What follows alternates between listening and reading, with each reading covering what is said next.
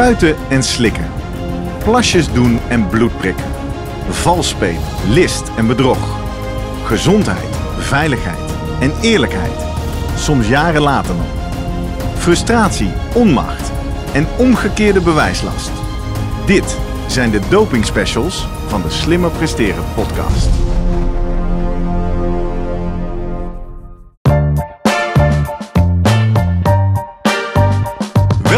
Bij de Slimmer Presteren podcast. Jouw wekelijkse kop koffie met wetenschapsjournalist Jurgen van Tevelen en ik, middle-aged man in Lycra, Gerrit Heikoop. Over sport, onderzoek en innovatie. Voor mensen die hun grenzen willen verleggen, maar daarbij de grens tussen onzin en zinvol niet uit het oog willen verliezen. In deze aflevering praat ik met Jurgen over een schone wielersport. Wielrennen zonder doping. Een sprookje? Als er één sport is waarvan de historie bol staat van de dopingschandalen, is het het wielrennen wel.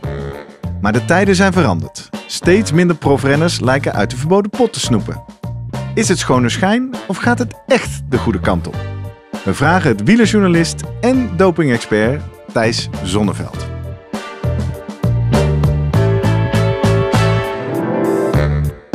Voordat we beginnen, nog even drie dingen om aan te denken als jij zelf ook slimmer wilt presteren. Nummer 1. Druk nu gelijk even op abonneren, zodat je altijd direct in de gaten hebt wanneer er een nieuwe aflevering online komt. Nummer 2. Weet dat je Jurgen en mij ook kunt boeken voor jouw volgende bijeenkomst als spreker of presentator.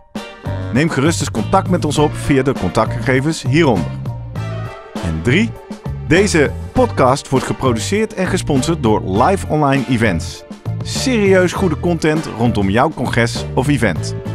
Check www.loe.tv voor meer info.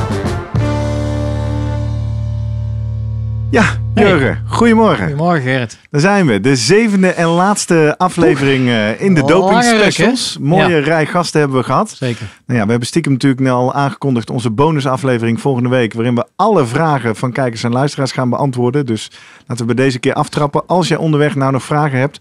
Naar aanleiding van vandaag of naar aanleiding van een van de eerdere afleveringen. Stuur ze naar ons op. Dan eh, komen ze volgende week in behandeling. Maar we gaan even inzoomen op het wielrennen vandaag. Met een hele bijzondere gast. Ja.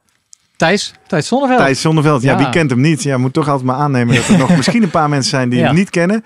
Hij zit natuurlijk altijd graag ja, aan maar dan hou, je, dan hou je niet van wielrennen, denk nee, ik. nee, nee. Maar hou je hebben- niet van doping? ja. Nou ja, wie... Nee, nee, precies. Maar toch, hè, hij uh, analist bij uh, uh, Studio Sport. Avondetappen zien we hem vaak zitten. Schrijver van het boek, wat Ja, we hier op onze boekenstapel Thomas hebben. Uh, Thomas Dekker uh, natuurlijk. Nou, ik heb uh, het voordeel van een gast met een, uh, die op Wikipedia staat. Ik heb maar eens even opgeschreven. Uh, hij is van 1980. Hey, hetzelfde jaar Voormalig amateurwielrenner. Ja. En uh, begonnen ooit bij de, de, de Toko Tegelploeg ergens. En nou ja, leuk dat voor toch de mensen om te vermelden dat hij volgens mij één jaar met Dion Beukenboom in dezelfde ploeg heeft gereden. Ja, en daar heb jij een linkje Nee, mee waar we het ja, al lang precies, niet meer over gehad hebben. Hè? Misschien Ja. moeten we het toch even uit de boekenstapel trekken. Ja. Voor de kijkers en luisteraars die ons nu voor het eerst ontdekken. Het Maakbare Uur is jouw boek. Zeker. Om, over uh, Dion Beukenboom die het wel of niet haalt, het werelduurrecord. Ja, spannend. Begeleid door coach Jim van den Berg. Die zat ook in die ploeg volgens mij. En uh, nou, tegenwoordig is Thijs natuurlijk journalist bij het AD. Ja. Schrijver van boeken. Dit is al je achtste of negende, zag ik Thijs. ja je spreekt hem al aan. Hij is er, hè? Moeten Ja. we even voor onze kijkers aan hij, hij, is, hij is bij ons. Goedemorgen, Thijs. Goedemorgen. Ja, we faken even, hè. Komt op vrijdag. eh, Ah, vrijdag. ja, ja, ja, maar ja, jullie zeggen boeken, ik zeg altijd boeken met de aanhalingstekens erbij. Ja, dus, eh, heel, veel, heel veel van die boeken zijn gewoon eh, eh, columns die, al, die ik al geschreven had met een kaft eromheen. Dus dat vind, ik niet echt, dat vind ik niet echt tellen als boeken. Ja. Maar je schrijft veel leuke, pittige columns. Onder Ja. andere eh, recent rondom eh, een keeper. Bij, oh, we, ja, we Ene. hebben eerder eh, Herman Ram gesproken. Mogen we niet over cases hebben, maar, maar vandaag met jou wel. Ja. Mooi, eh, mooi hoe je beschreef van, eh, nou, waar, waar, wat vindt iedereen nou zo zielig? Komen we misschien zo nog even op terug. Maar als vaste openingsvraag in deze serie stellen we onze, onze gasten allemaal dezelfde vraag. Namelijk, wij zijn de Slimmer Presteren podcast. We hebben 42 afleveringen lang gepoogd om alles te ontdekken wat je kan doen om slimmer te presteren. Sneller, nou ja, sterker. Maar ergens ga je dan een grens over. En dan wordt het opeens eh, doping en ben je een zondaar. Waar, waar ligt wat jou betreft de grens tussen slimmer presteren en dopinggebruik? Eh, ja, dat is heel simpel. Eh, ja, ik denk, ik denk erover als jurist. Ik, ik ben afgestudeerd in dopingrecht en op de, op de dopingcode van het WADA. En ja, er is eigenlijk maar één echt hanteerbare definitie van, van wat is doping. Doping is wat op de dopinglijst staat. En, en Ja. alle andere definities, eh, daar, daar komt toch gevoel bij van mensen. Of die vinden dat het, dat het één doping is, omdat de prestatie bevorderend is, of weet ik veel wat. En er is meer dan genoeg aan te merken op de middelen die op de dopinglijst staan. Maar het is ja, de enige hanteerbare en werkbare definitie van, van doping is wat er op de dopinglijst staat. En maakt het wat jou betreft dan nog uit of iemand wel of niet betrapt wordt? Ik bedoel, ben je als je die middelen gebruikt, maar niet betrapt wordt, ben je dan geen dopingzondaar? Eh, nee, als je die gebruikt ben je een dopingzondaar. Zo staat het ook beschreven. in dit- Wel. Ja, ongeacht Ja, of je ja. gevonden wordt. Ja. Ja, kijk, of, of Lance Armstrong nou wel of niet gepakt wordt eh, of betrapt wordt. Ja, je bent ook eh dopingzondaar op het moment dat je het stiekem doet en je wordt niet gepakt. Ja. Ja. Toch wel, oké. Ja.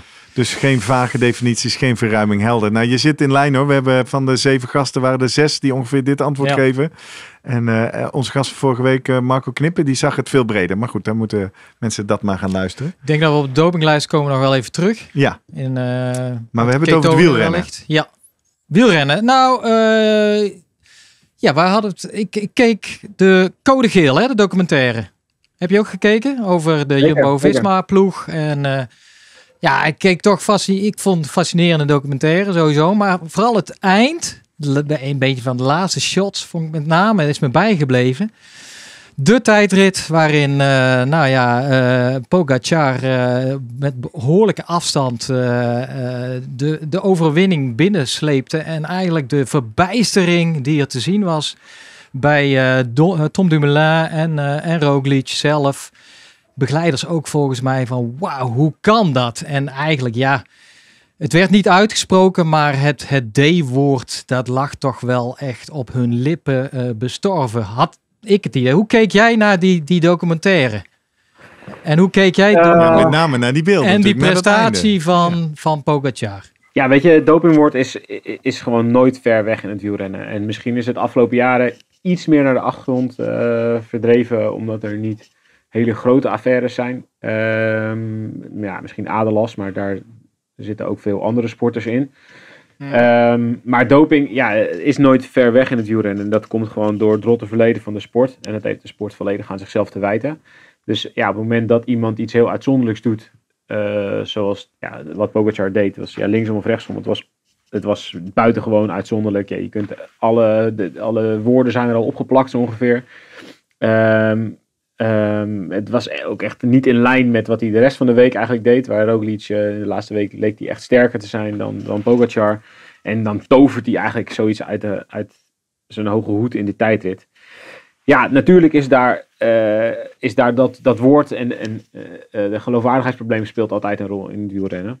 Ehm, dus ik denk ook heus dat het in die ploeg, ja, daar zijn ook heus mensen geweest die, en veel ook denk ik, die dat toch door hun hoofd hebben laten gaan. En ehm, eh, ja, ze spreken het niet uit, Ehm, maar ja, ze hebben er zeker wel aan gedacht. Alleen, ze weten net zo goed als wij dat als je dat eh, gaat uitspreken, dan moet je daar heel sterk bewijs voor hebben. En eh, ja, het kan net zo goed zijn dat Pogacar een extreem goede dag had. Of extreem eh, aerodynamisch was zonder dat je dat nou echt aan de buitenkant kon zien. Zich extreem goed het voorbereid op die tijdrit. Of weet ik veel. Dus ja, Ja. er blijven natuurlijk altijd zoiets als mysterieuze krachten in de sport. Waardoor er onverwachte dingen kunnen gebeuren. En je kunt niet alles maar afschuiven op, eh, oh, dan zal iemand wel hebben vals gespeeld. Zeker niet als je het bewijs niet voor hebt. Nee, want dan zou er dus gewoon eh, iets gevonden moeten zijn voordat we daar zo over Ja. mogen, mogen spreken. ik kan me herinneren, Jurgen, eh, één zijstap. In de eerste aflevering van de Doping Specials vroeg ik ook aan jou, maakt het jou wat uit als toeschouwer? Thijs, voor jou als, als wielervolger, maakt het jou wat uit of, of is het gewoon een super vette prestatie? Ja, maar mij maakt het wel uit, ja. Ik, eh, ik geniet heel erg van wielrennen. En ik, geno ik heb ook van die dag genoten, omdat het een, eh, van, ja, het was een fantastische ehm, eh, sportdag. Om, ja, hier kijk je voor naar sport, weet je. De, de reden dat, dat wij Ja. naar sport kijken, zeker mannen, is omdat we emoties willen beleven. En dat kunnen hele mooie emoties zijn, omdat onze favoriete ploeg wint.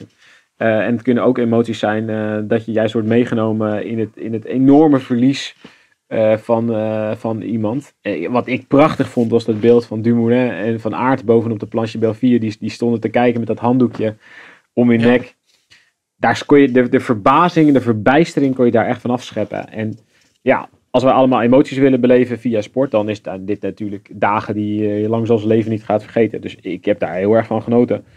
En net zoals ik heel erg heb genoten in het verleden van prestaties die op dat moment werden geleverd eh, door renners waarvan ik niet wist dat ze doping hadden gebruikt. Ja, ja maar precies. Maar daar hadden we het over. Dus, dus maakt, dat, maakt het het genieten minder of anders? Stel nou dat we over vijf jaar erachter komen met nieuwe testen dat die Pogacar er helemaal naast zat die dag.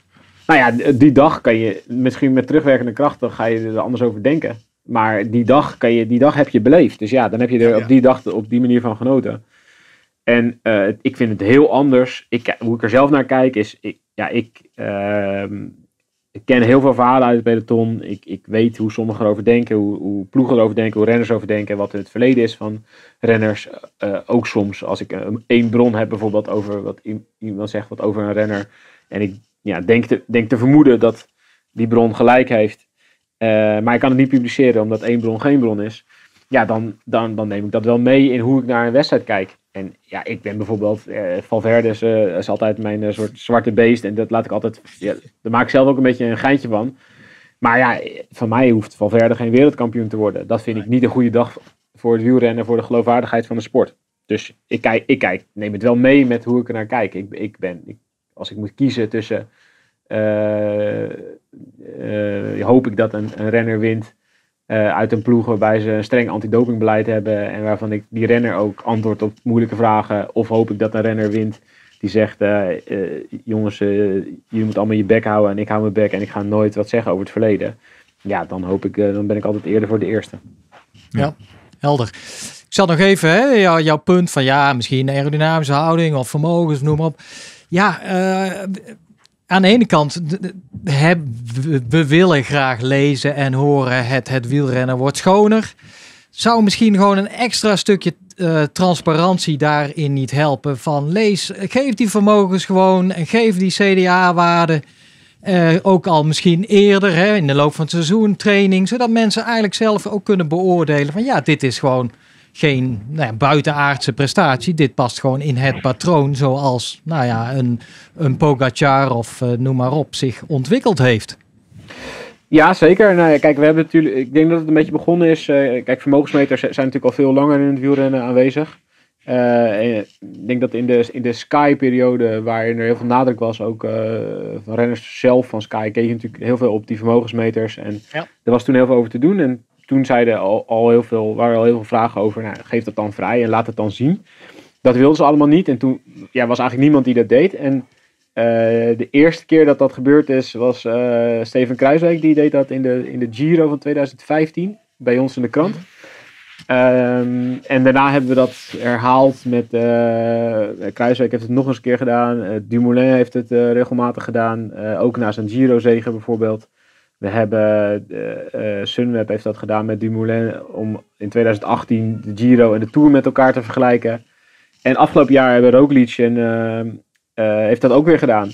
Dus ja, je ziet heel erg dat, dat ja, Sunweb doet dat, Jumbo-Visma doet dat. Eh, wel echt met de, de vraag, eh, dan moet er wel iemand zijn die, die erin duikt en die het ook wil begrijpen en het ook duidelijk wil uitleggen. Want er was in het begin ook bij ons, bij het AD, bij de krant, daar zei mijn chef al eventjes, wat gaan we nou in godsnaam doen met vermogens, hoe gaan we dat uitleggen aan, eh, nou ja, hoe, hoe Mart Smees het altijd doet, mevrouw van Zitten uit Tiel. Dus daar heb je wel echt veel ruimte en veel tijd voor nodig om dat dan ook echt te gaan uitleggen. Maar ondertussen denk ik dat heel veel eh, wielervolgers ook echt wel snappen eh, wat, waarover die vermogens gaan voor een groot deel. Heus niet tot in detail, maar eh, je kunt eh, heus het op een begrijpelijke manier uitleggen. Maar ja, het is heel simpel. Als ik het dit jaar vraag aan Pogacar, want die vraag heb ik wel gesteld. en als ik het vraag in het verleden bij Ineos of bij Sky, ja, dan krijg ik die vermogens niet. Dus ik denk dat er in het peloton is er echt, wel echt sprake van een soort scheiding. Eh, waar je aan de ene kant ziet dat, dat ploegen een heel actief eh, geloofwaardigheidsbeleid voeren. Dus weten, oké, de, wielrenner kampt met dit probleem. We moeten hier iets mee en we moeten ook eh, publiek, sponsoren, media iedereen, ja, alle stakeholders moeten we overtuigen van het feit dat we de sport beter en geloofwaardiger willen maken. En daar ook dus actief aan meewerken. En dat betekent dat we inzicht geven in, eh, nou ja, niet alleen vermogensgegevens, maar wij krijgen ook inzicht in eh, hoeveel attesten worden er aangevraagd. Ja. Ehm, soms zelfs in bloedwaardes en in eh, whereabouts en dat soort dingen als we daarom vragen. Ehm, dus er zijn ploegen die daarin heel ver willen gaan. En er zijn ploegen die zeggen, wat denk je zelf? Als ik, ik weet nog wel dat ik, ik, ik deed een rondje door het hele peloton, ging ik aan elke ploeg vragen hoeveel attesten ze hadden aangevraagd. Omdat cortisone vaak worden misbruikt om eh, eh, eh, vlak voor de koers in te nemen onder het mom van een gefakte blessure. En ja, daar zijn dan heel veel ploegen die daar meewerken. En dat zijn dan, de, de Nederlandse ploegen werken daar mee. eh, Ploegen uit Duitsland, Australië, Frankrijk werken allemaal. Die vinden het allemaal uitstekend om daar mee te werken. Maar als ik dat bij Astana vraag, dan ehm, kreeg ik gewoon letterlijk de, de, de, de, de, vraag terug. eh, wie denk je dat je bent? En eh rot en end op. Ja, Ja. Dat, dat is, dat is zo'n andere manier van nadenken. Hè? Weet je, bij Astana eh denken ze gewoon uh, lazen op. Van Movistar krijg ik gewoon geen reactie ook. Weet je wel. Ja, dat is gewoon die staan er anders in. Er zijn ook andere culturen. eh, de maatschappij zit, is het ook misschien minder belangrijk in Zuid-Europa of in, ergens diep in het Oostblok. Om eh, je publiek te gaan overtuigen dat je het allemaal heel netjes doet. Maar ik heb ook het idee dat de UCI zelf. eh, ik, ik speur wel eens op die site van hun. En dan vind je in ieder geval wel de, de, de lijst met renners die geschorst zijn. Maar het lukt je niet om te vinden van hoeveel renners nou met een eh, medische dispensatie rondfietsen. En daar hadden we het al eerder met Herman Ram over. Die zei ja, sinds kort is op WADA site is in ieder geval van de atleten daar dat allemaal te vinden. Maar je moet wel even goed zoeken. Dus ja, daar zit ook wat in. En, dat is wel even een puntje. Ik heb nog even op de cijfers eh, terugkomen. Want de, de controles, ja, die vind je dan die uitgevoerd door de CAFD. Hè? Ehm, en dan zie ik dat in 2018 die cijfers, er zijn 10.405 testen geweest. Waarvan behoorlijk wat, 4.700 voor het bloedpaspoort. En van die andere dus, nou, de meeste voor out of competition en nog een stukje in wedstrijdverband. En als je kijkt naar het aantal schorsingen, dan denk ik, nou, dat valt reuze mee. Een stuk of 100. En dan eh, vooral, eh, nou, we hebben het eerder met Marco Knippen gehad over atletiek, waar er echt vier, vijfvoudige eh, zo'n beetje staat. Ja. Ja, nou ja, dan kijk je op die lijst, dan zie je natuurlijk Armstrong staat er en, en de Luca, die kennen we natuurlijk wel. Maar ook heel veel kleine visjes, hè. Iraniërs, Uruguayanen, Colombianen en Costa Ricanen. Hoe kijk jij dan naar zo'n lijst eigenlijk? Eh, is, dat, is dit een indicatie van, ja, we zijn op de goede weg. De, er, wordt, eh, nou ja, er, er wordt goed gevist en geschorst. Ben benieuwd. Eh, nou, in, in algemene zin eh, denk ik wel dat het wielrennen eh, er een stuk beter voor staat dan eh 10 of 15 jaar geleden. Je kunt het gewoon ehm, eh, heel vaak linken aan ehm, de pakkans. Zo simpel is het. Eh, weet je, ik geloof echt totaal niet in eh, het zelfcorrigerend vermogen van grote groepen. Dus, dus, dus wat, wat we altijd zeggen van ja, maar die, ze lossen het zelf wel op. Of het nou gaat om, Mhm. om bankiers of makelaars die zwart geld aannemen of om eh, sporters. Het is allemaal hetzelfde. Als, je een, als, je, als de groep te groot is en de verleidingen om vals spelen zijn er en je hebt te weinig, de pakkans is te laag, dan gebeurt het massaal. En ik denk dat dat in, de jaren negentig is dat gebeurd. Ehm, hoe ik doping gebruik, eh, psychologisch zie, is als een soort prisoners dilemma. Eh, als je renners allemaal laat kiezen tussen wat zij het het liefste willen, dan willen ze allemaal het liefst niet doping gebruiken. Want niemand wil zomaar pillen slikken of EPO of testosteron of weet ik veel wat. Maar ze doen het allemaal omdat ze bang zijn dat iemand anders het doet en dat ze daardoor een nadeel hebben. Dat is eigenlijk dat is, nou reden nummer één om doping te gebruiken. Ehm, dus ja, als er een middel is wat niet of, of nauwelijks opspoorbaar is, zoals in de jaren 90 EPO, eh, dan is het in no time ook eh, wijdverbreid. Ehm, en je ziet gewoon door de jaren heen, dat in, ja, toen de EPO-tester kwam, eh 2001, 2002, eh, zie je een afname ehm, eh, en die test is verbeterd. En het belangrijkste, of de belangrijkste doorbraak is het bloedpaspoort. Dat heeft de opsporing zoveel makkelijker gemaakt. Zowel door target testing als door dat je gewoon kunt zien dat renners eh, bloedschommelingen eh, hebben. Daar zijn zoveel renners bang voor. eh, dat, dat de marge van dopinggebruik, dus het aantal dopinggebruikers, maar ook de dopinggebruikers die het, de mensen die het gebruiken, kunnen minder gebruiken. Dus in, in algemene zin kun je zeggen dat dat de marge van doping danig heeft verkleind. Ehm, en nu heb je tegenwoordig ook nog hormoonpaspoorten en weet ik wat allemaal. Ja. En dan merk je dat eigenlijk het gevolg daarvan is dat er een, dat jonge renners die overkomen, en dat merk je nu veel meer dan eh 10 of 15 jaar geleden, jonge renners die overkomen die nog niet ervaring hebben met de hele eh, nou ja, eh, rondrijdende pillenapotheek zoals het in het verleden was. Ehm, die komen over en die zien eigenlijk dat ze meteen kunnen winnen.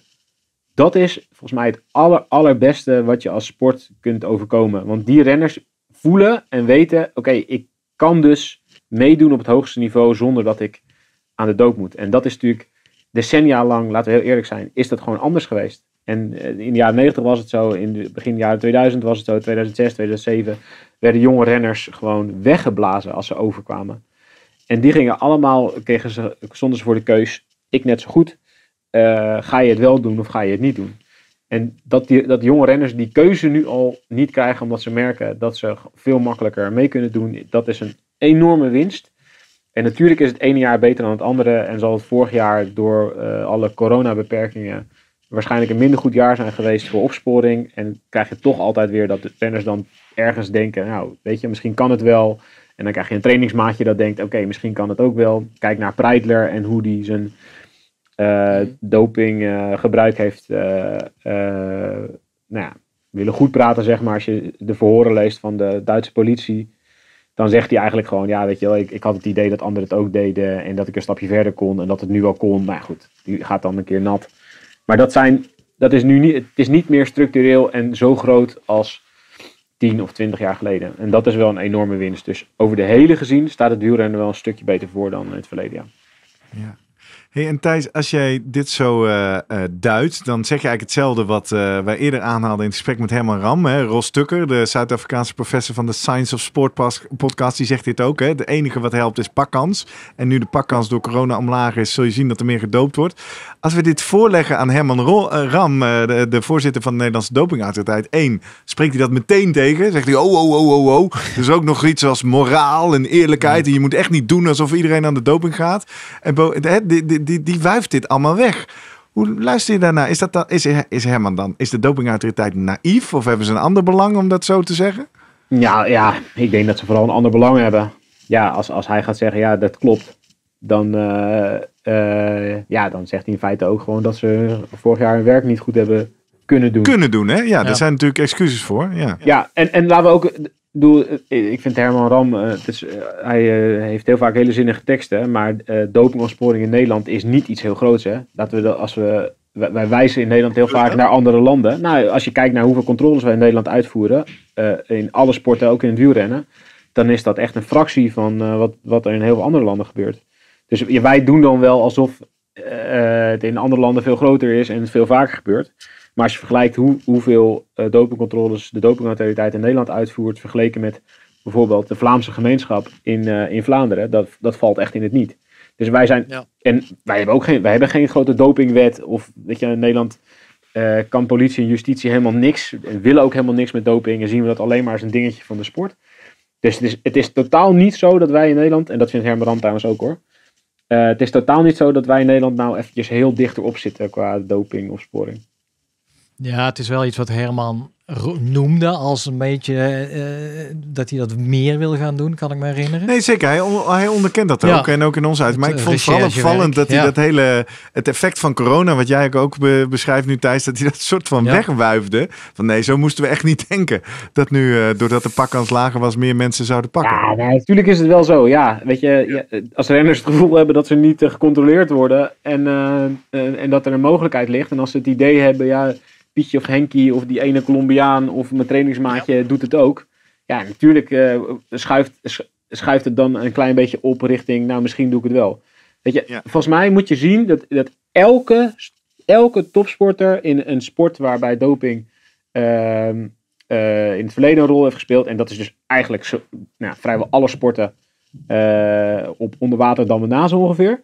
Ehm, eh, in, in, in alle sporten, en zeker ook in wielrennen, eh, overweegt iedereen het.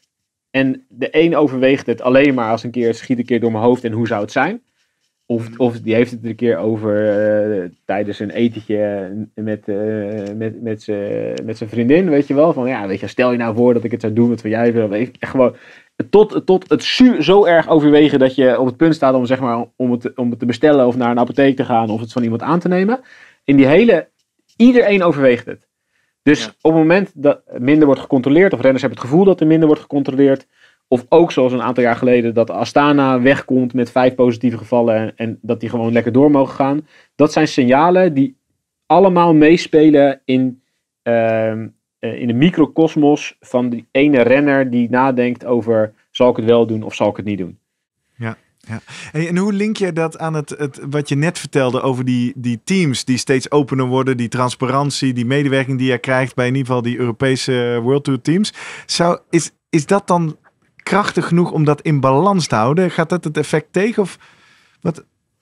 Nou ja, kijk, je kunt natuurlijk nooit helemaal uitsluiten. Kijk, Sunweb is, uh, de DSM tegenwoordig, is, is, is echt gebouwd op een, uh, op een ploeg, eigenlijk op een idee, weet je. Dus ze zijn eigenlijk begonnen ergens in 2008 en ze reden de Tour in 2009 echt als lachertje zo ongeveer. Met allemaal renners die eigenlijk, ja, waarvan je kunt afvragen dat de helft altijd misschien dat niveau niet. Maar dat, die ploeg is echt gewoon alleen maar gebouwd op een idee. Eh, namelijk, wij zijn antidoping. En we gaan hier alles aan proberen te doen. En we gaan extra testen doen. Uh, ja, et cetera, et cetera. En ook bij dat team heb je dopingzondaars. Dus het, je kunt het nooit helemaal uitsluiten. Um, en dat zijn er dan heel weinig. Preidler is, is, is, daar, ja, is, is ook voor hun was dat denk ik een enorme vervelende ver, ver, verrassing en, en, een hele, en een vlek. Ja. Um, maar je kunt het nooit helemaal uitsluiten. Maar je kunt natuurlijk wel als ploeg uh, een heel streng beleid voeren en al ingrijpen op het moment dat het fout dreigt te gaan. Kijk, wat ze bij Jumbo-Visma bijvoorbeeld een paar jaar geleden deden met slaapmiddelen in, tijdens een trainingskamp. Dat daar renners waren, Lobato en Tolhoek en Inkhorn uit mijn hoofd. Die uh, aan het klooien waren met slaapmiddelen. Wat toegestaan is, maar, van, waar, maar waarvan je wel weet dat in het oude wielrennen dat dat een soort voorportaal was voor gebruik van allerlei andere middelen. Kijk, als je dat als ploeg zelf naar buiten gaat brengen, um, dat, is, dat vind ik een goed teken. Ik heb, ik, heb, uh, ja, ik heb gezien hoe het oude Rabobank werkte uh, onder de oude leiding, waar ze toch vooral bezig waren met uh, hou het binnenboord en laten we proberen dit allemaal niet te laten uitlekken. Meer, ja, met, met de Rasmussen Tour, zeg maar, als, als ja. slechtste voorbeeld van ja, we, we, gaan het containen, we houden het binnenboord, we houden het binnenboord. Oh, het is niet binnenboord, houden. Pff, het is ontploft. Als je kijkt naar, naar hoe vervolgens de, de nieuwe leiding van die ploeg omging met iemand als Luis Leon Sanchez. Uh, ik heb toen met uh, Marijn Zeeman en Richard Plugge heel veel contact over die zaak gehad, omdat ik hem samen met een Spaanse journalist ontdekte in het dossier van, van Fuentes. En zij kwamen er eigenlijk tot de conclusie dat het, ja, het was zo dit kon je, journalistiek was het echt, was het zo rond als ik weet niet hoe. Alleen ze durfden het arbeidsrechtelijk gezien, was het, ja, is de bewijslast nog hoger. Dus ze konden hem niet zomaar eruit gooien. En ze hebben toen uiteindelijk voor gekozen om hem gewoon een zak geld mee te geven. Wegwezen. Ja, dan gaat hij volgens naartoe. Ja, eh, een paar jaar later rijdt hij doodleuk lekker weer bij Astana in de rond. Hè. Daar zie je eigenlijk, daar en dat soort zaken zie je gewoon de scheiding, zeg maar, die door dat peloton heen loopt die ook door de journalistiek heen loopt, die ook door fans uh, heen loopt. De ene groep fans die vindt het heel belangrijk, de andere groep fans die zegt, je moet je niet zoveel mee bemoeien en laat ze lekker fietsen en doping, ja, hoeft, hoeft van mij niet. Dus het, die, zeg maar, het oude versus nieuw wielrennen, als je het eventjes heel kort door de bocht zegt, want er zijn natuurlijk allerlei tussenvormpjes en hybride vormen te verzinnen. Maar het oude en het wielrennen, het oude en nieuwe wielrennen en die scheidslijn ertussen, die loopt tussen renners en ploegen, media, fans, die loopt overal doorheen. En is die nog iets aan het opschuiven richting de kant van de, de, de, de, schone, uh, de, de schone kant, zullen we maar zeggen? Of ja, gaat dat de goede kant op? Want als het uiteindelijk uh, die meer, meer die kant opschuift, ja, dan is het een kwestie van tijd, zou je denken. Ja, ik heb nu het idee de laatste jaren dat het wel redelijk stabiel is. Hmm. En, en daarmee wil ik dus niet zeggen dat zeg maar, degenen die aan de kant staan, die niet bezig zijn met transparantie en geloofwaardigheid en al die dingen, dat die structureel bezig zijn met doping te verstrekken aan hun renners. Nee. Eh, want ja, dat is in deze tijd wel echt wel lastig eh, denkbaar. Eh, dat je nog echt, nou, zo'n- zoals US Postal deed, zeg maar, dat ze in de teambus gingen, dat iedereen een bloedzak eh, kreeg. Dat is echt wel lastig denkbaar nu met eh, alle mobieltjes. En, eh, ja, dan, eh, als je het doet nu, dan doe je het waarschijnlijk op individuele basis en wil je er zo min mogelijk mensen bij betrekken. Omdat je ziet dat, ja, dat heel veel van de grotere affaires, waarbij veel eh, klanten zich rond een dokter of rond een, rond een dubieuze manager of zo verzamelden. Ja, dan, als er één iemand gaat praten, dan gaat het hele kaarthuis onderuit. Dus ja, als je een beetje nadenkt en je gaat doping gebruiken, doe je het natuurlijk niet zo. Ehm, maar ik, denk, ja, ik heb het gevoel dat het wel een beetje stabiel is nu. Dus ja, dat, dat je aan de ene kant zeg maar de, de precieze hebt en aan de andere kant de rekkelijke. En de, de, de rekkelijke ploegen die zijn gewoon nog steeds wel van zijn meer de opportunisten die zeggen gewoon, ja, zorg maar dat je goed bent. Dat is, dat is wat niet heel erg veranderd ten opzichte van het verleden. Maar ik heb niet het gevoel dat het heel erg opschuift. Maar wat ik er nog wel, Ja. dat, ik wil één ding ook zeggen, want dat is, dat is eh, denk ik wel belangrijk. De reden, of een van de belangrijkste redenen dat, dat er dat verschil is, is zit hem ook in eh, de druk van de buitenwereld in de verschillende landen. Dus als je, als je kijkt, kijk, wij kunnen nu in Nederland doen alsof we met Sunweb en Jumbo-Visma hebben we twee ploegen die er best wel veel aandacht aan besteden. Waarmee niet is gezegd dat ze geen dopingzondaars in hun ploeg hebben, want dat weet je nooit. Maar dat komt in feite voort uit ehm, dat het voortbestaan van die twee ploegen enorm in gevaar is geweest. Ja, dat is, de dat is bij heel veel andere ploegen niet. Ja. Ja. dit is bij heel veel andere ploegen niet direct zo geweest. Het is niet zo dat Movistar om is gevallen toen Valverde werd gepakt. Eh, of dat eh, Astana heeft gezegd eh, toen Vinokurov werd gepakt en nog weet hoeveel anderen, dat, dat ze bij Astana zeiden, ja jongens, nu, dit gaan we, hier staan wij niet achter. Terwijl je, wat je in Nederland hebt gezien, is dat, we, dat Rabobank en nee, Jumbo-Visma als opvolger, zeg maar, dat heeft echt op de rand van de afgrond gestaan. En voor Sunweb geldt, dat, geldt hetzelfde eigenlijk. Die hebben ook, een- ook in die doping, in de periode dat heel veel dopinggevallen naar buiten kwamen in het internationale wielrennen, en na de, zeker na de bekentenis van Armstrong en de sneeuwbal die erop volgde, hebben zij ook enorme problemen gehad om ja, überhaupt te blijven bestaan. Dus Ja. voor hun is, is een actief antidopingbeleid niet alleen maar iets om, ja, dat is doen het voor eerlijkheid en voor ja, de, de moraal en bla bla bla. Het is ook gewoon puur overleven. Je kunt niet in, een, eh, in, in de huidige Nederlandse samenleving, en dat geldt voor heel veel andere samenlevingen, is het gewoon een belangrijk thema dat je het eh, ook op een net, nette manier doet en op een ethische manier doet. Dat lijkt je ook terug te zien dan bij de bond. Hè? Want eh, we hadden vorige week al even over het bredere sportveld met Marco Knippen. Toen kwam Ja. de UCI, de Internationale Wielerunie, ook al even langs. Die lijken strengere regels eh, op te Ja. stellen, Jurgen. Met eh, tramadol bijvoorbeeld. Bijvoorbeeld, ja. ja, zeker. Dus uh, nou ja, ik, uh, ja, dat is toch wel een op opmerkelijk feitje, denk ik, dat uh, geconstateerd werd. Nou, dat, ik meen niet van 4, 4 5 procent van de renners gebruikte tramadol, een zware pijnstiller. Werd ook ge, gerelateerd aan de toename in, in valpartijen. Dat, dat je raakte versuft van, dus renners zaten wel versuft op de fiets. WADA wou er eigenlijk niet aan om het op te nemen in hun programma. Die hadden zoiets, ja, nog een stof waar we op moeten controleren. En ja, eh, goed, als alleen het wielrenner er last van heeft, ja, dan, eh, dan mogen jullie dat probleem oplossen. En zij hebben dat eigenlijk op, uh, op hun manier, lijkt het in ieder geval vanuit de buitenkant, opgelost door het op hun. Nou ja, het, Herman Ram zal zeggen, het is niet op de dopinglijst, maar gewoon op in ieder geval uh, in de reglement van de UCI opgenomen. Als je daarop gepakt wordt, dan, uh, dan word je ook bestraft. En volgens mij als er twee renners waren van een ploeg, dan wordt de hele, hele ploeg bestraft. Ja, dat wat, uh, vond ik opmerkelijk. Wat wel opmerkelijk vind daaraan ook, is, is sindsdien is ook nooit iemand... Ik heb nog nooit iets gehoord van überhaupt een test of een positieve test op tramadol. Wat weet jij daarvan? Um, ja, het is een regel die eigenlijk voortkomt vanuit de MPCC. Dus de, mm -hmm. de Mouvement pour un cyclisme crédible. Um, nou ja, het, het, pure feit dat er een, een, groepje ploegen was een aantal jaar geleden die uh, het zo belangrijk vond om een subgroepje eigenlijk uh, op te richten die zich inzet voor een geloofwaardiger wielrennen, zegt natuurlijk heel veel over de UCI. Ja. ja. dat is natuurlijk gewoon een, een enorme. Ja, ze, hebben, ze falen al, al jaren op verschillende gebieden. Maar dit is natuurlijk gewoon een gebied. Ja, als ploegen het dan op een gegeven moment maar zelf gaan doen. dan sta je natuurlijk als bond wel echt wel een beetje met je broek op je enkels bij te kijken. Van ja, dat slaat natuurlijk nergens op.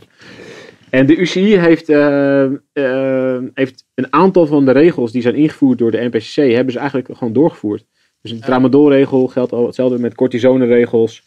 Ook met autosuspensie. Dus dat als ploegen meerdere dopinggevallen hebben, dat dan de hele ploeg wordt geschorst. Uh, om er maar voor te zorgen dat je als ploeg dus ook wordt gedwongen om een actief antidopingbeleid te voeren. En niet zoals in het verleden gewoon kunt zeggen elke keer als er een renner wordt betrapt, up, die gooien we er buiten en wij hebben er als ploeg verder niks mee te maken. Ja. Dus de NPC heeft volgens mij een paar hele goede regels uh, doorgevoerd, die ook zijn overgenomen door de UCI. Um, um, dus ja, uh, daar kan je de UCI dan wel weer uh, voor applaudisseren. Dat ze in ieder geval hebben gekeken, oké, dat zijn goede regels, laten wij het dan misschien te laat, maar laten we ze dan maar wel overnemen. Ja. En hoe, hoe komt het, denk jij, dat er nooit iemand gepakt is op tramadol? Wordt er wel op gecontroleerd? Ja, maar niet superveel volgens mij. Uh, en, en, het is, uh, kijk, het stond heel lang op een soort monitorlijst, ook bij het WADA. En toen zagen ze dat uh, soms, in sommige jaren waren echt bijna de helft van de, van de tests die ze deden in het wielerpeloton, konden ze tramadol of sporen daarvan terugvinden. Wat natuurlijk echt komen belachelijk is, want als je op tramadol de bijsluiter gaat lezen, daar staat er inderdaad op, je mag er volgens mij niet eens mee auto rijden bijvoorbeeld. Want dat wordt je afgeraden. Ja, dan ga je natuurlijk niet mee, met 60 een uur een massasprint in, weet je wel. Ja, natuurlijk word je, dat, is, zal, niet, dat zal, niet mee, zal niet meewerken met hoe snel je reageert. Dus het lijkt me een hele goede regel dat daar grenzen aangesteld zijn. Ja, ik denk dat veel ploegen daar ook wel echt achter stonden. Ook de ploegen die niet bij de NPCC aangesloten waren. Dat wil niet zeggen ja, dat ze niet andere pijnstillers gebruiken, hè, want dat kan natuurlijk nog steeds wel. Precies. Dat is wat jij noemt inderdaad MP, MPCC, ploegen eruit gestapt. Ik, ik zag altijd MPCC toch als een beetje een tandeloze tijger omdat daar, uh, ja, uh, volgens mij de helft is uh, geen lid daarvan. Hè. Je is vrijwillig allemaal. Ehm, ja, dat, dat zij hun kracht hebben verloren. Maar ja, door jouw verhaal krijg ik toch er weer anders tegenaan. Dat zij toch wel dingen voor elkaar hebben gekregen bij de UCI. Hoe, hoe zie jij de, hun, hun rol. Zij hebben dus wel daadwerkelijk nog wel een, een krachtige rol uh, binnen het, het, peloton. Ja, ik denk dat die rol de afgelopen jaren wel er, heel erg is afgenomen. Uh, ook omdat ze soms uh, te ver gingen. Dus het, kijk, er zijn natuurlijk hele goede regels. De cortisone-regel, tramadol-regel, die autosuspensieregel. Het zijn echt, echt goede, prima regels. Alleen wat je ook wel ziet is dat het daarnaast ook weer een soort politiek instrument begon te worden. Waar met name de Franse ploegen uh, heel erg wilde laten zien dat zij beter waren dan andere ploegen. Of beter zijn dan andere ploegen. En dat zie je nu terug in de Ketone-discussie. Die, wordt, die komt echt vanuit de NPCC, wordt die gevoerd. De ploegen die daarbij aangesloten zijn, die klagen erover. Die zetten het dan op hun uh, op lijst van producten die NPCC-ploegen niet willen gebruiken. Um, um, en daar is, daar is nog steeds niet echt een reden voor. Weet je? Het staat niet op de dopinglijst. Maar ze willen eigenlijk ervoor zorgen dat ze voor de troepen uit blijven lopen. Um, en daarmee uh, schrikken ze ook wel een hoop andere ploegen af. En neemt hun geloofwaardigheid ook wel af. Het is ook een manier om zich, om zich te positioneren. En dat zie je ook terug heel veel in interviews met Franse renners. Zoals Thibaut Pinot, uh, die vorige week in L'Equipe dan uh, ja. ook weer gaat zeggen: er is nog steeds een cyclisme de vitesse. En die anderen gebruiken nog steeds cortisone en ketonen en het is niet eerlijk. Het is heel Frans om, zeker als, je, als ze verliezen, dan, dan ligt het aan anderen. Weet je? En dat, dat is nog steeds zo. En het was in het verleden ook, nou wel wezen, er was ook een periode dat het cyclisme uit de vitesse was. Ik heb zelf voor een Franse ploeg gereden in 2000. Uh, 4, 5, 4 en 5. En toen hadden, hadden wij al een bloedpaspoort. En ik hoorde dan, ja, ik hoorde bepaald niet bij de, Franse, bij de, bij de toprenners. En je moest geloof ik de beste 200 renners van het land, die werden gewoon al gevolgd met een bloedpaspoort. En dat was dus al jaren voordat het werd ingevoerd door de UCI. Dus toen was al het verhaal vanuit Frankrijk, ja, wij doen er veel meer aan. Met, met ja, eigenlijk als consequentie van de Tour van 98, waar de Franse overheid gewoon heel hard heeft ingegrepen. En daar zat toen echt wel wat in, in dat cyclisme de vitesse. Maar ja, eh, ondertussen kun je ook gewoon talloze andere redenen aanwijzen waarom de Fransen niet winnen. Uh, en niet in de laatste plaats, omdat ze tot uh, een paar jaar geleden nog gewoon met limonade in een bidonnetje reden in plaats van door slessers. precies. Maar ja, nou, nou, je noemt Ik wil, het ik wil even heel graag een haakje Ja. maken voor onze kijkers en luisteraars. Eh, iedereen die meer wil weten over ketonen en of dat zinvol of onzin is, ook voor jou als amateur, luister even naar aflevering 24, waar we helemaal de diepte op ingaan. En ook op 41 kwamen we even nog terug op de laatste inzichten vanuit Gent. Dus eh, Ja, maar ik vind die ketonen best wel erg. Ik ik was in eerste instantie was ik ook heel sterk van ja, dat is gewoon een, een voedingssupplement.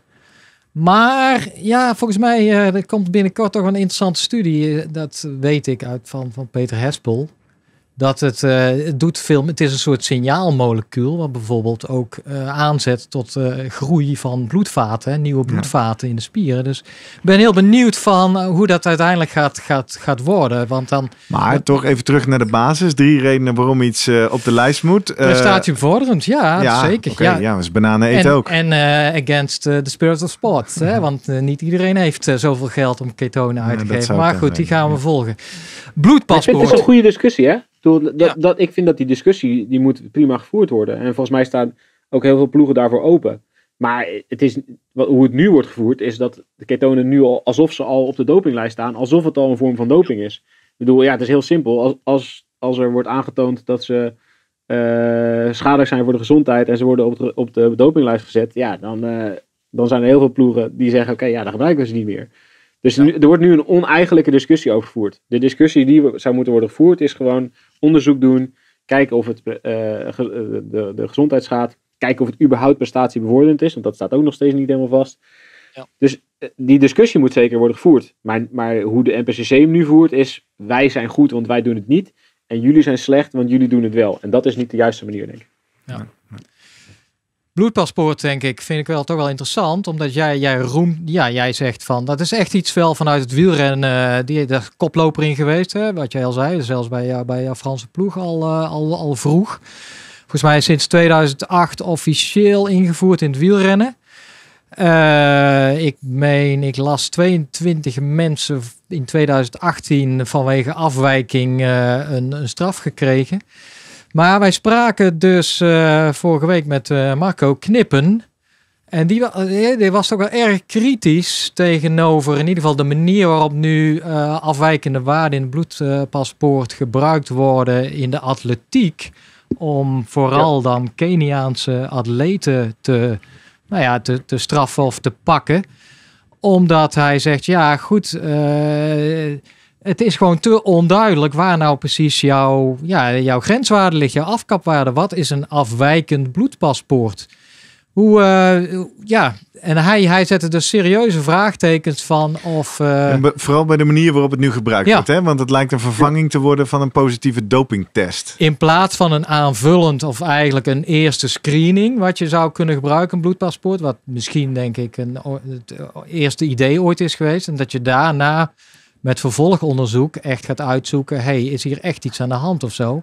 En hij had het idee dat gewoon nu in de atletiek mensen gewoon een- met een afwijkend bloedpaspoort, dat er al genoeg is om ze, Te veroordelen. ja, om ze te veroordelen. Hoe zie jij dat?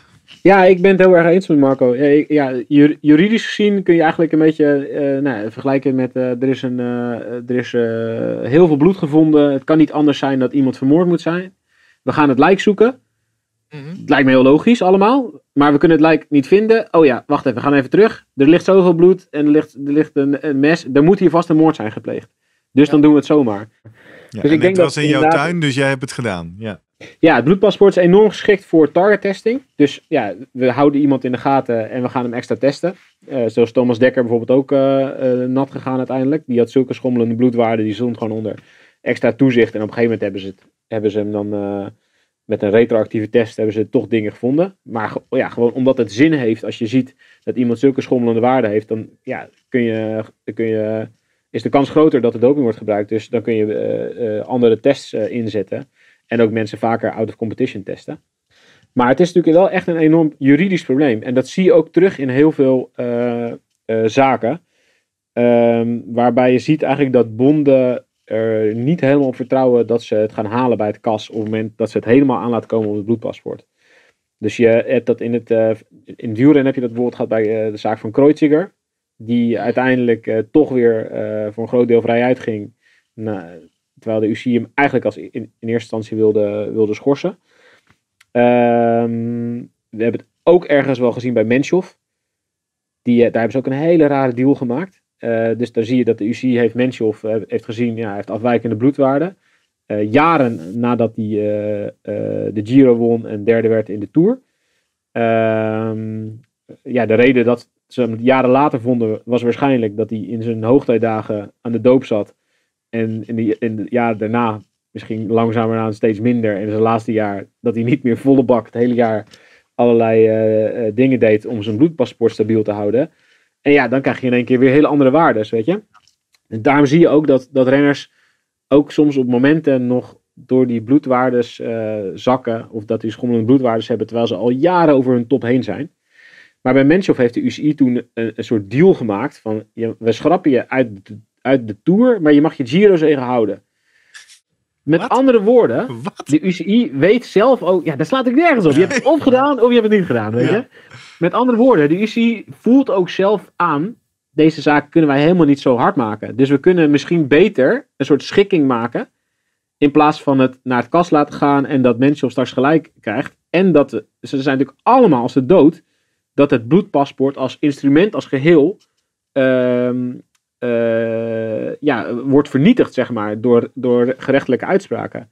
Dus, dus juridisch gezien zitten er gewoon zoveel haken en ogen aan, dat je zeker ziet bij sporters die naam en faam zijn, die veel geld hebben, die uh, goede advocaten kunnen betalen, dat het daar echt wel lastig is en dat daar bonden veel terughoudender zijn dan bij een paar Kenianen, waarvan ze weten, die gaan er niks met, die, gaan, die gaan we zo één voor één, pof, pof, pof. Die kunnen we zo omtikken. Wat natuurlijk super oneerlijk is. Ja, en toch ook vanuit het perspectief van Menschhoff. Hè? Stel nou dat hij wel onschuldig was. Dan is dit natuurlijk ook redelijk waardeloos. Want dan ben je dus in de pers. Uh, hè? Je wordt wel geschrapt uit de Tour. Dus er is wel rook. Maar uh, je hebt blijkbaar niet gedaan. Dus die kan daar ook niks mee, toch? Nou ja, eh, ja waarschijnlijk heeft hij... Dat, als, ja. als je een schikking aangaat en je, je accepteert dat je de Giro... Uh, dat, je niet meer, dat je niet meer derde wordt in de Tour, dan... Weet je, dan, dan denk ik dat het wel vrij duidelijk is hoe hij er zelf in staat. Maar ja, dat is, zijn natuurlijk hele rare zaken. Ehm, en, en daar zie je hoe moeilijk het is om, uh, om dopingbeleid te voeren. En dat het bloedpaspoort een heel belangrijk instrument is. Maar politiek gezien of strategisch gezien is het instrument ook zo belangrijk dat ze ook echt als de dood zijn dat er, uh, dat er sporters aankomen. En dat ze, het, dat ze dus bij het kas, dat ergens een keer een rechter zegt, jongens, dat hele bloedpaspoort, daar kun je helemaal niemand, op basis daarvan kun je helemaal niemand schorsen. De, ja, dat brengt denk ik meteen naar de, de Nederlandse sporters. Ja, de amateurs hè, waar we mee afschapten deze Salbutamol uh, zaken. Ja. Van een, uh, een Chris Froome, uh, Salbutamol. Oh, die wil je eerst even doen. Ja. Nou, als, als linkje van ja, waar toch in ieder geval de UCI misschien als de dood was van dat die, die zaak ook naar, naar kas ging uiteindelijk. En ze uiteindelijk ze, ja, ja, Froome vrij uitging, laat ik het zo zeggen. Maar in de tussentijd, ja, kijk ik gewoon een, een trapje lager naar het Nederlandse wielrennen. De amateurs, waar we in, uh, nou, recent dus bij, bij Pointer hoorden over Sjors, Sjors Dekker. die, ja, nou, de Nederlandse Froome werd hij genoemd. Die ook door een te hoge salbutamol ehm, concentratie eigenlijk nou, geschorst is. Of in ieder geval de schorsing nu afwacht, betrapt werd. Uh, andere zaak is die van Jordi van Loon, die, uh, die werd ook behandeld. Uh, en dat zijn ja, amateurwielrenners die eigenlijk nou ja, wel een, een alternatieve verklaring hebben voor het feit dat zij betrapt worden, of in ieder geval positief, positief getest, ja. worden. Maar wel een, een ja, behoorlijk fikse straf boven hun, hun hoofd hangt. Van nou ja, vier jaar in principe. Heb jij die zaken nog gevolgd? Zeker. Ja. En hoe kijk je daar, uh, hoe zie je dat? Ja, zo trapten wij een beetje af, hè, de doping specials. Want uiteindelijk is deze podcast niet over topsport, maar juist voor amateurs. En proberen we een brug te slaan. En komen we dan tegen die verhalen aan van amateursporters die soort van in de wielen van het systeem vermorzeld worden. Ja, uh, ja ik, ik uh, schreef mijn, uh, mijn scriptie in 2003 of 2004. En de, de titel was, het ging toen over de walencode die net was ingevoerd.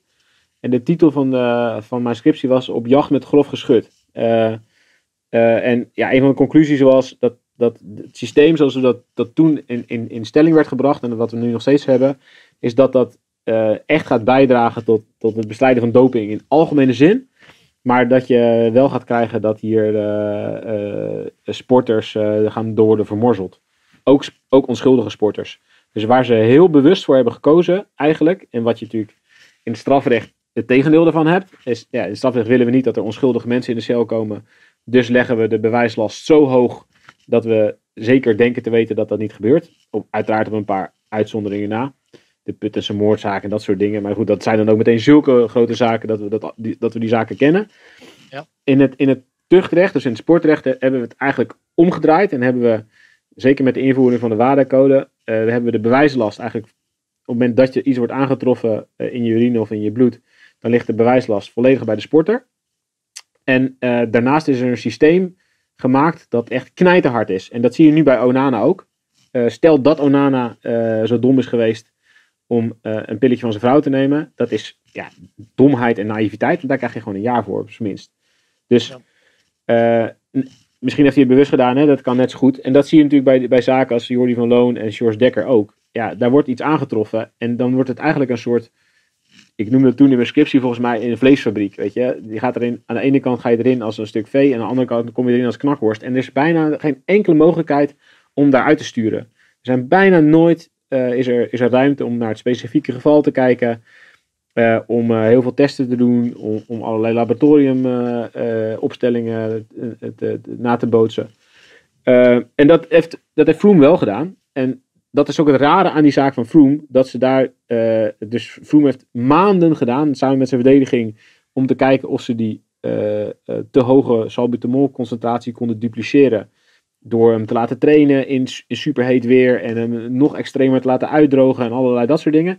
En ze kregen het niet voor elkaar om diezelfde concentratie ehm, eh, te dupliceren. En toen hebben ze gezegd, ja, maar in het algemene zin zou het toch wel kunnen dat het zo, zo is gegaan. En toen hebben ze dat geaccepteerd. Dus met andere woorden, in de zaak Froome, en daarom vind ik dat nog steeds een van de allerraarste dopingzaken die is voorbij is gekomen, hebben ze de zogenaamde strict liability, dus die bewijslast die helemaal bij de sporter ligt, hebben ze gewoon laten vallen. En moet je dat eens vergelijken met een zaak zoals van Contador, de 0000005 zaak. Daar heeft Contador gezegd, ja, dit is clenbuterol. Dat komt voor in, in voeding en in voedingssupplementen. Zeker in de minimum hoeveelheid als die bij mij is gevonden, zou het heel goed kunnen dat het uit een voedingssupplement is gekomen. Toen is hij gaan proberen aan te tonen uit welk stukje biefstuk dat dan kwam. Bij die ene slager, wat was het, in Pamplona geloof ik of zo. En dat kreeg hij toen niet voor elkaar, om het aan te tonen dat het bij die ene slager vandaan kwam. En dus kreeg hij twee jaar schorsing. Froome krijgt datzelfde niet voor elkaar, dat hij het voor elkaar krijgt om aan te tonen waar het dan precies vandaan kwam. En die gaat vrij uit. Die twee zaken kun je op geen enkele manier met elkaar verenigen. Dat is onmogelijk. En Thijs, je bent ontzettend wel bespraakt en ingevoerd, dus help me eens even. Want ik leg dit dus voor aan Herman Ram een paar weken Ja. terug. En die zegt dan doodleuk, hè? dus ik kom ook met die omgekeerde bewijslast. Zit ook in ons rijmpje aan het begin van deze doping specials, want het rijmt goed op podcast. En zegt hij, nee, ja, maar dat is niet zo. Want eh, er is gewoon bewijs, want er is namelijk een positieve dopinguitslag. En dat is gewoon keihard bewijs. Dus eh, we hebben bewijs en er is geen omgekeerde bewijslast. Hoe?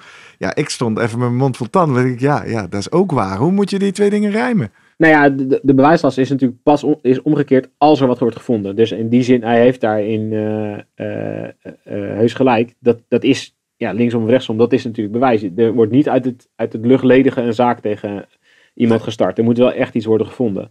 Dus als er wat gevonden, ja, dan, dan keert de bewijslast dus helemaal om. Maar Herman heeft tegelijkertijd gelijk als hij zegt dat, dat, er, dat het wel begint met dat er überhaupt, überhaupt een vorm van bewijs wordt gevonden.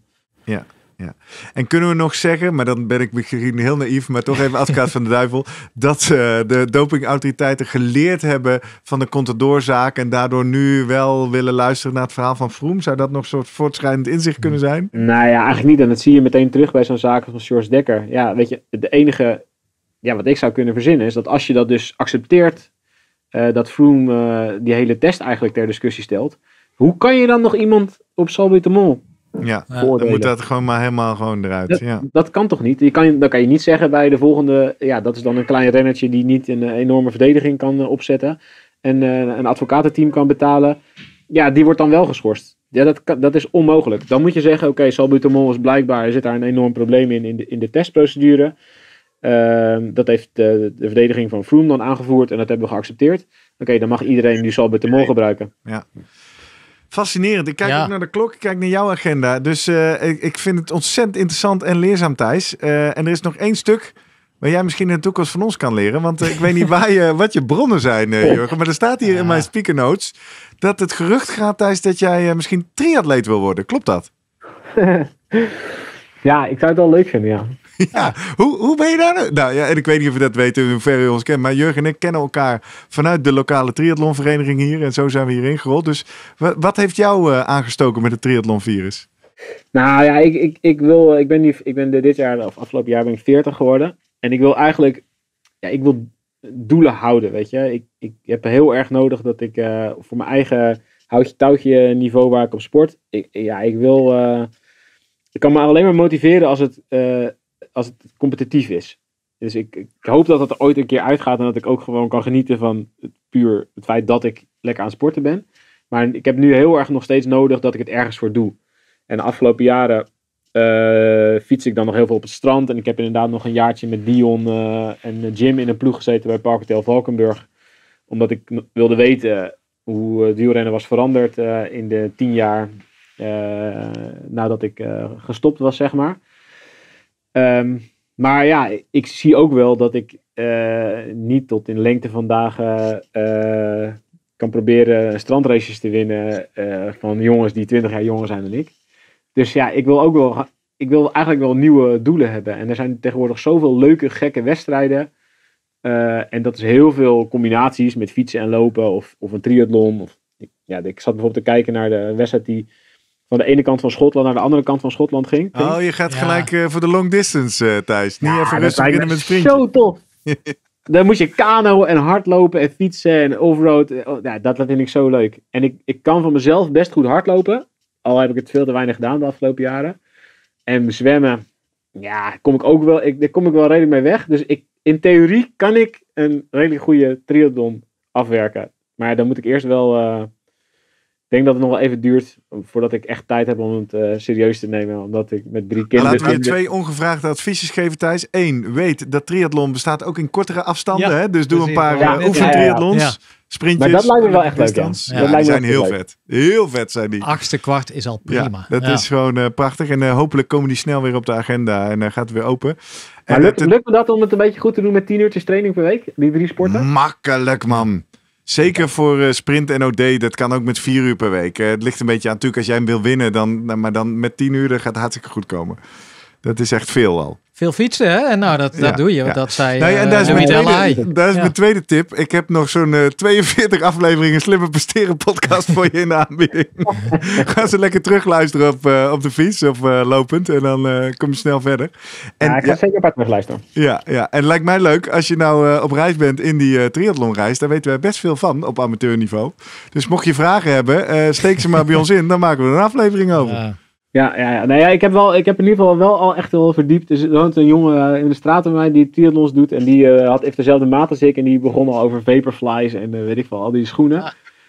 Dus ik heb, eh, ik- ik Aflevering, heb- Oké. even kijken, wat is dat? Eh, Ja, zes. ja, Ja, ja, ik heb alle schoenen al, eh, die, die, die- ik kan ze allemaal gaan uitproberen. Ja, maar Dus, misschien, misschien ben je een non-responder, hè? ja. Kan ook. Goed. En eh, ja, komt ik, dat ik ook op land de wel goed op mijn voorvoet. Dus Komt eh, dat- volgens mij... eh, Ja, nou dan moet je de afle- Oh ja, aflevering met maar even Met terugluisteren. onderzoeker Ja, ga ik hebben we het over gehad. Dat is Ja. juist weer niet goed. Nummer Nee. 37 Ai, is ai, dat. Maar goed, nou ja, Thijs, we gaan niet onze hele inhoudsopgave doen. Nee. Dankjewel. Ja. Eh, doping in het, eh, in het wielrennen. Eh, laatste vraag. Denk je dat het eh, helemaal schoon gaat worden binnenkort? Of ooit? nee, dat kan niet volgens Nee, mij. ja. Nee. Nee, Eh, dat dat is is, volgens mij echt een, een utopie. Ehm, en ja, dat is ook. eh, heel vaak zeggen mensen dan: ja, moeten we het dan niet afschaffen? Maar. eh, Nee. is al helemaal geen. Maar dan komen we terug op die zaterdag van die tijdrit in de Ja. Tour... waar we net in het begin over hadden. Waar we allemaal fantastisch van genoten hebben. Dus we moeten gewoon lekker in het hier en nu kijken naar die prestaties... Ja. en eh, meegaan op de emoties. Mooi. Nee. Dankjewel. Eh laat ik onze kijkers en luisteraars nog één keer oproepen. Als jij nog vragen hebt aan Thijs over triathlon. Nee, tips voor triathlon eh, Thijs. Nee. Eh, als je vragen hebt over doping naar aanleiding van deze aflevering... stuur ze in via social media. @slimmerpodcast. Op Twitter en Instagram zijn we te vinden. Je kan ook naar onze website www.slimmerpodcast.nl. Daar vind je van iedere aflevering een unieke pagina waaronder je ook kan reageren. Of je kan ons mailen met jouw tips, anekdotes en vragen via post.slimmerpodcast.nl. Doe Doe dat in ieder geval voor donderdag, eh, ja, donderdag 1 april. Dat is eh, volgende week, want dan gaan we een eh, aflevering maken met alle vragen en reacties die binnengekomen zijn naar aanleiding van de doping specials. Dus als je snel bent, dan nemen we jou mee in de aflevering volgende week. En dan sluiten we deze mooie serie af. Ja. Jurgen, onze laatste gast. Vond, ja, jammer. ik zou nog wel Kunnen we wel even door. Ja. Misschien ooit een herhaling. Dankjewel Thijs. Dankjewel Alsjeblieft. Thijs. Hoi hoi.